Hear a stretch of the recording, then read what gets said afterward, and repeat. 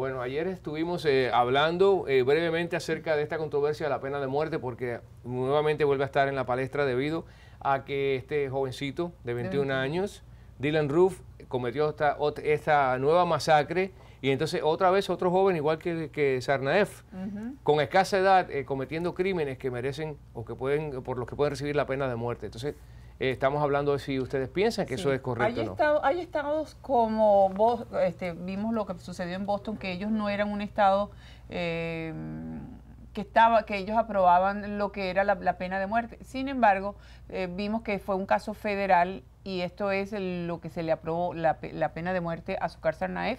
Él fue el muchacho que puso junto con su hermano las dos bombas en el maratón de Boston. Eh, Massachusetts no, eh, no acepta o no tiene lo que es la pena de muerte. El estado de la Florida sí, hay otros estados que lo aprueban, hay otros que no. Creo que hay como veintitantos estados que están de acuerdo con, la pena, con la pena de muerte. Particularmente pienso que eh, mucha gente eh, les da miedo utilizar lo que es la pena de muerte debido a que puede ser una persona inocente. Pero una vez que se haya comprobado, como con este muchacho, que aquí no hay nada que comprobarle, sí estoy de acuerdo. Yo, particularmente, Clara Tavares está de acuerdo con la pena de muerte.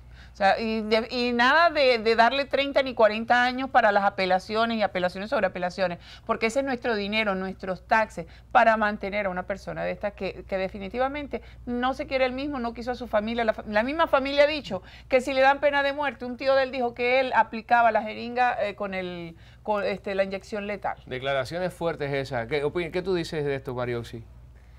¿Tú estás de acuerdo con la pena de muerte? No, no, no, no. Yo, no, definitivamente que yo no estoy de acuerdo porque hay, a ver, existen cosas que son, así me enseñaron a mí en la universidad, la verdad procesal y la verdad verdadera.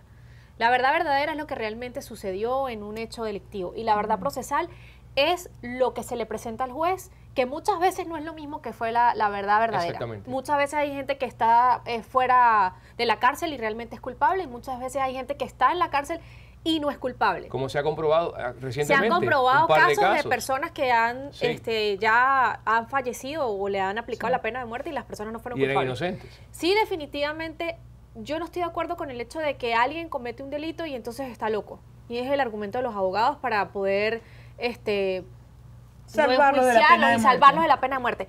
Pero sí, definitivamente tiene que haber un desnivel psicológico en personas que cometan un acto como lo que acaba de suceder de este muchacho que mató a estos nueve afroamericanos. Sí. Pero hay otra cosa que debe ser porque tengo, vengo de otro país que a mí no me parece que está bien, pero entonces se contradice con el hecho ese de que nosotros nos podemos defender y tenemos el derecho a la defensa, que es el uso de las armas. Yo siento que ese permiso que le dan a la gente de poder portar un arma es algo muy delicado y que ha creado tantos conflictos que se han podido evitar. Pero bueno, Está garantizado en la, Constitución, entonces, pero... Sí, sí, yo... yo pero, si la segunda enmienda viene desde 1800, 1700, a finales de los 1700, 1800, donde era una pistolita que cargabas con pólvora... Para defensa, para, defensa de los ingleses No para eso. pero eh, esto lo que pasa es que es como dice Emilio, son las personas las responsables de los crímenes, no, es las, no son las armas en muchos casos. Pero en, mi opinión... Eh, Muchachos, vamos a ver lo que opina la gente en la calle para que nosotros después eh, podamos proseguir. Para mí, cadena perpetua. Cadena perpetua. No, no, yo pienso igual. No, no, no, yo no quiero desperdiciar mi.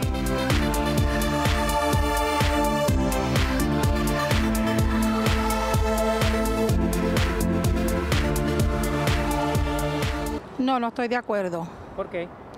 Porque yo creo que todo el mundo tiene derecho a una segunda oportunidad y también creo que el único que tiene derecho a quitar la vida es Dios. Y a las personas no se les debe dar pena de muerte porque hay, hay momentos en que han salido inocentes y eso sería un error muy grande. No, no estoy de acuerdo. ¿Por qué? Eh, por la razón de que nosotros no somos nadie para disponer de quitarle la vida a otro ser humano.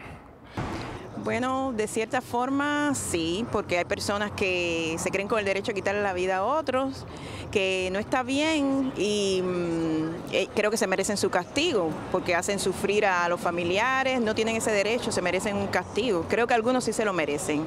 Bueno, eso es algo bastante delicado. Pienso que, que todo el mundo tiene derecho a una oportunidad eh, a una rehabilitación e reintegración en la sociedad. Habría que ver el caso, a qué nivel sería. También es verdad que una persona en la cárcel es un gasto muy fuerte para el Estado, pero realmente no estoy 100% preparada como para dar una opinión final. Pienso que todo el mundo se merece otra oportunidad. Oh, sí, estoy de acuerdo con la pena de muerte porque que la hace tiene que pagarla. No estoy de acuerdo con la pena de muerte porque solo Dios es el que debe quitar la vida.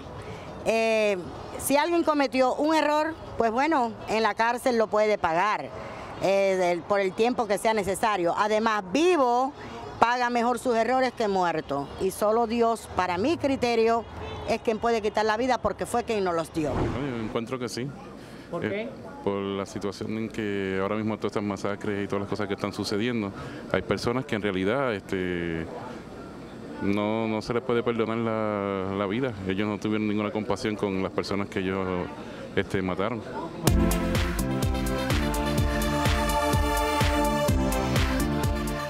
Eh, cuando comencemos a aplicar la pena de muerte a todas estas personas que están eh, eh, haciendo estas masacres, ustedes van a ver cómo esto también se va a empezar a acabar, porque ya que hay mucha gente que protege el uso, el uso de armas, que a mí me parece irracional que todo el mundo tenga en su casa una K-47, un tanque, un tanque de guerra y un, Mirage 16 lo tienen en la puerta de su casa y más de 2 millones de, balas y municiones. Entonces, Tiene que haber una restricción en cuanto a la venta de armas, qué es lo que se debe vender, qué tipo de municiones se debe vender y, todo eso. Pero que algo muy importante es un estudio psicológico.